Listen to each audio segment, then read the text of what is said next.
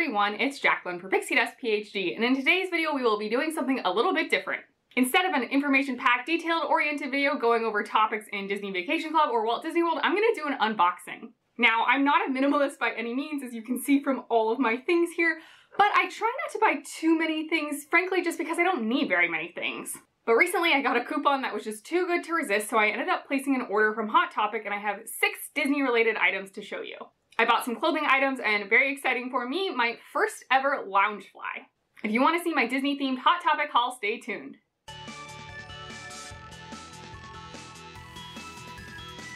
Hey everyone, thanks so much for joining me in today's video. Whether you are new here because you like hauls or you are a long-time viewer because you generally enjoy my content, I'm very grateful that you're here. If you enjoy this video, please hit that thumbs up button to like the video and consider subscribing to the channel. You can ring that bell icon to receive notifications whenever I post new videos. Hauls are pretty rare on this channel. As I said in the intro, I try not to buy too many things. There are two other videos that may be of interest though. First, last summer I showed you my Disney related birthday gifts, including my very first Disney Dooney and Bourke. And then more recently, I've got a video going over the Disney themed holiday gifts that my partner and I exchanged during the 2020 holiday season. But let's get to this unboxing. So a little bit of background. What ended up happening was my partner ordered a holiday gift for me from Hot Topic and then it ended up being back ordered, which really is no problem. We knew it would be arriving late, but eventually my partner got another email saying it had just been canceled altogether. Of course, we were both disappointed, but in that cancellation email, Hot Topic provided a 50% off coupon. Now, you couldn't stack this with anything, so it didn't stack on top of sale prices or if you had hot cash or any other promotions. But it was good for 50% off your entire order from that full listing price. I ended up buying six items at half off each and spent about $100 total. Let's get into the unboxing. I did pre-open things a little bit to try to save on those crinkle noises, but otherwise this will be a live reaction. Things were sent to me in three separate packages, which I kind of hate. I wish that they would just wait until the whole order was ready to send me one box. It feels very wasteful to have these three separate mailers, but it is what it is. So the first and smallest package, which I anticipate will be t-shirts. Interestingly, it shipped to me like this, so there's no wrapping. They're not wrapped in plastic or anything, which doesn't necessarily bother me because that plastic feels pretty wasteful anyway. It's just probably the first time I think I've ever gotten t-shirts shipped to me just folded up in, in a poly mailer. Two of the items I bought were for my partner, so we'll begin with those. In this package, there were three t-shirts. Each of these t-shirts was roughly 23 to $25 full price. On average, with my coupon, that means we're talking about $12 for each of these t-shirts. Two of these I bought for my partner, so let's take a look at those first. So we've got this gray t-shirt that says See the World by Balloon, established 2009. And you can see it's got this really cute mountain motif with the house and balloons flying by. So this is obviously a nod to the movie Up. My partner and I both of course like Disney, but we like our merchandise to be a little more subtle in that it doesn't necessarily scream Disney. At a glance, this shirt just kind of looks like any other sort of national park shirt in my opinion, but then when you take a closer look, if you are a Disney Pixar fan, it very obviously is an Up t-shirt. So I thought this one was very fun. The next shirt I bought my partner similarly is a little bit of a subtle nod to Disney. It is a very bright t-shirt though, and it's basically this poster for the Chef Bot from Wall-E. So front and center we've got the Chef Bot, and then he has this huge knife. There's the Buy n Large logo in the top left. It says King of the Kitchen, and then some foods down below. There's also this text at the bottom that's pretty blurry. Let me see if I can try to read it. It definitely says Chefbot, and then in the small font, I think it says, Buy n Large, introduces the future of culinary excellence from blending to maybe basting, mixing and mashing. The Chefbot has all of your cooking bases served, I think.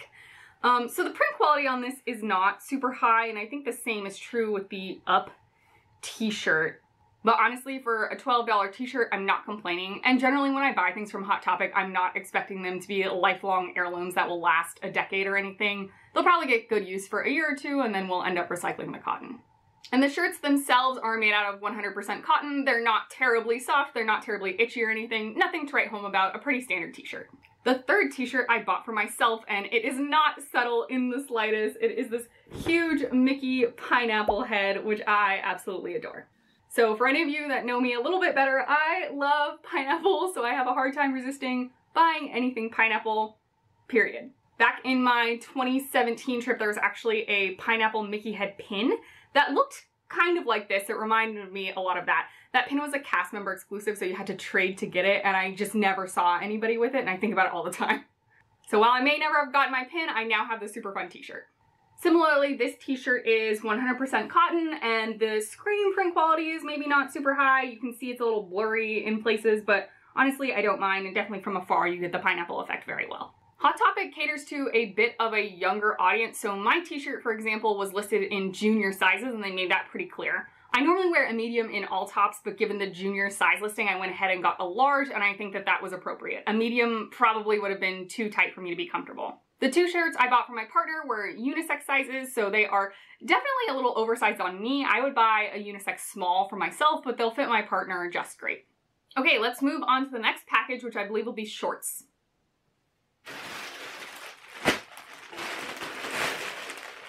Yep, so these did come in plastic like I would have expected. Let's start with the less expensive of the two, which is this pair of board shorts. So again, this is not very subtle. It has these Mickey fruit heads. I think it's so cute. Again, you can see the pineapple Mickey is obviously why I bought these. These retail for about 20 bucks, and again, I got roughly half off that. These Mickey Mouse Fruits Girl Board Shorts were advertised again in junior sizes, so normally I wear mediums on bottom, but I went ahead and bought a large just in case. I think in this case I probably should have gone with the medium. The large is fine and it fits, but uh, it's it's a little roomy. I think a medium would have been just fine, so I would say if you do want to buy these, go ahead and go with your normal size. And they are board shorts, so they're kind of like a spandexy material. The whole thing, you know, even past the waistband is stretchy and thin. Um, I can fully see through this. So I would hang out in them as loungewear, but I don't think I'll be wearing them to the parks. I would wear them to a water park for sure, or down to the pool, etc. There are no pockets. It's a pair of slip-on spandex and polyester shorts. And the second pair of shorts I bought were these really cute jean shorts with some Winnie the Pooh embroidery. These retailed for about $40 and I paid half of that. So you can see on the front we have Tigger as well as Pooh and Piglet. And then the back pocket, just one of them has these flowers and a little bee friend.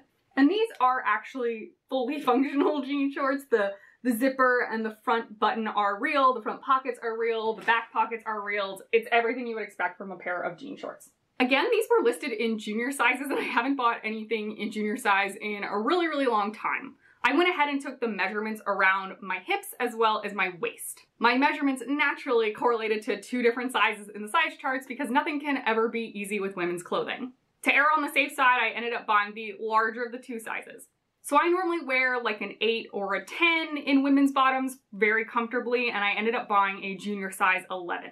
These fit certainly, and they're not gonna fall off. It's not gonna be a problem. They are a tad on the big side though, especially since they're jean shorts. I expect that they'll stretch out a bit over the day.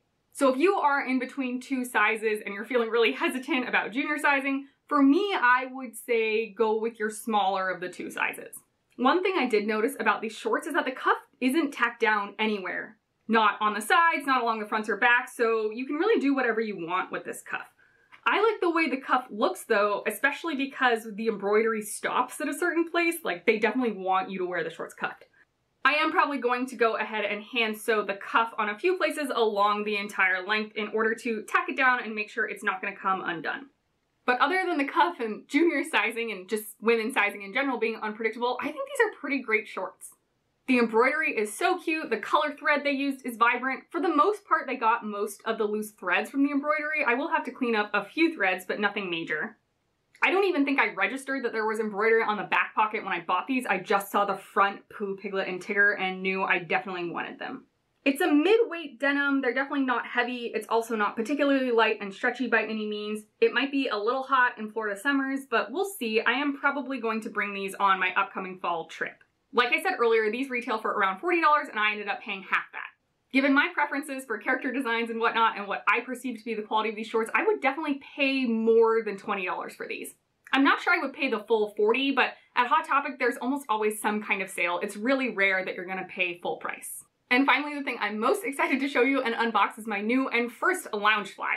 I haven't taken this out of any of its packaging. I just opened the flap on the box, so sorry for all the crinkle noises, but I'm very excited. Let's get to it.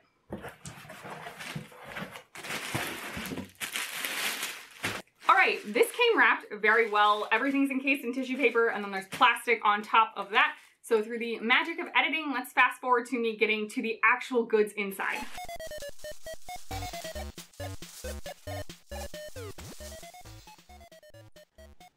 Is my new Loungefly. So this retails for $75 and again I paid half that price. The official name for this is the Disney Princess Ice Cream Mini Backpack by Loungefly. Let's go ahead and unwrap the little cherry on top. Isn't it so darling? So the whole thing basically just looks like a giant ice cream, which I love. I have a beanie that looks like a swirl ice cream cone. I just like when items look like cute foods. And who doesn't like ice cream? So I'm definitely impressed with the packaging. Everything looks beautiful. There's no problems anywhere and they protected it really well. The front waffle cone pocket also came stuffed with some foam to make sure it didn't get crushed in shipping. Wrestle it out. Ooh. Hefty piece of foam. And then the main pocket is also stuffed with tissue paper. So again, the magic of editing, let's fast forward.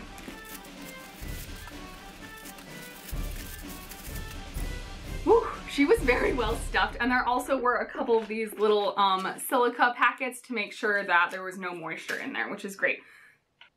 I think this is your pretty standard Loungefly. Like I said, this is my very first one, so I don't necessarily know firsthand, but there is this zipper pocket on the outside, and then the inside is basically just one big giant pocket. There's no compartments for organization, which is kind of why I have strayed away from Loungeflies thus far. The practicality level is not my favorite. I really wish that the back had a zipper pocket for me to put small items like my medicines and, you know, my chapstick that I don't want to lose just in the bottom of this bag. And I also think they could really benefit from putting a cell phone pocket on the inside as well. And then the rest could still just be one big open space, but otherwise, you know, everything is going to fall to the bottom and get lost. Then there are these two tiny little side pockets I have no idea what people use these for. You definitely can't put a water bottle in there. Maybe you can slip your sunglasses in there. If you have a smaller phone like I do, I still have an iPhone SE, the first generation SE, so it's quite small. That'll fit. But I'm a little bit wary about leaving my phone on my back in an exterior pocket like that. It's pretty easy to lose. Again, I wouldn't consider this subtle overall. I would be carrying a giant ice cream backpack, but in terms of the Disney factor, I do think it's pretty subtle. From afar, it just looks like a giant ice cream with little ice cream prints on it, but if you look at the little ice cream prints up close, they're very obviously princesses. So we can see this is Ariel, this surely is Aurora, here we have Tiana, the Snow White one is super cute. I think this one's Mulan if you look at the top flower, it feels like Mulan to me. I don't really get the other colors so much, but we'll see. Belle's is this gorgeous yellow with the red rose on top. And then Cinderella's, we have the light blue cone with the darker blue ice cream and a little glass slipper. Oh, and over here, this purple one is Rapunzel, and you can see the little corona sun on the top. I think that's all of the princesses that are included on this bag. I am very sad that Merida from Brave didn't make the cut to be on the bag, but I am honestly not surprised. She's kind of always outcast in these situations. The front pocket is actually textured, like this is raised, it's not just printed on, which I think is pretty neat. And the cherry on top is embroidered and it looks like it's stitched on. It feels pretty sturdy, like I'm not very worried about it getting taken off by any means. Nothing too special about the zippers. They are just gold Loungefly zippers. I think this would have been really fun with a rainbow zipper, but you know, you can't ask for everything. And then we have, I believe, just standard Loungefly backpack straps. So I'll put this on for you guys to take a look. They are adjustable, which is nice. This definitely is a backpack. It's not a convertible bag. So recently I've seen a trend that I absolutely love where backpacks can be converted into crossbody bags. Essentially, these are hooked into like D-clips and then there's other clips on the sides that you can use with a longer strap instead. That kind of added functionality I think would add a lot of value to the Loungefly bags for me. The bottom of the bag is the plain brown color to match the straps. It does not continue the little ice cream pattern. There also aren't feet or anything on the bottom for when you put it on the ground to keep it raised. It just, it's gonna touch the ground fully. Like all standard Loungefly bags, this is made from synthetic materials. It's not leather. I believe it's a polyurethane, of course, other than, you know, the metal parts. And specific to this bag or other ones like this, obviously there is a lot of white area, so I am a little bit concerned about it getting dirty as I use it. I may end up scotch guarding the bag. When you scotch guard items, and specifically I'm talking about spraying mostly accessories or shoes in my case to try to protect them from the weather a little bit, you really want to try a small area first to make sure that the fabric is compatible and you're not going to ruin any of the pattern with streaking or anything. I was naively hoping maybe I could do the bottom of the bag and see how that works, but because the ice cream cones aren't on the bottom, I'll have to test out a small patch on the back. If any of you have Loungefly bags that you have scotch guarded or similar before, please do let me know how that went for you in the comments down below.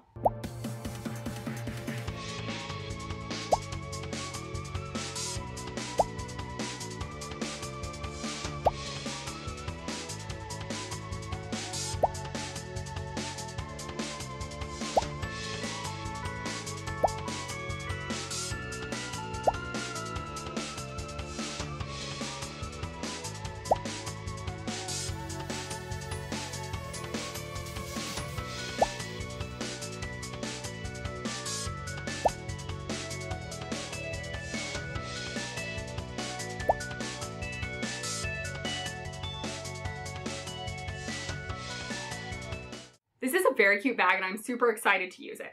Depending on how much I like or dislike the functionality of the bag while I am at home, we will see if it ends up coming to the parks with me or not on my upcoming trip to Walt Disney World. It feels like a shame not to bring it, but if it's just going to be an annoying hassle, I definitely won't, so we'll have to see how it goes.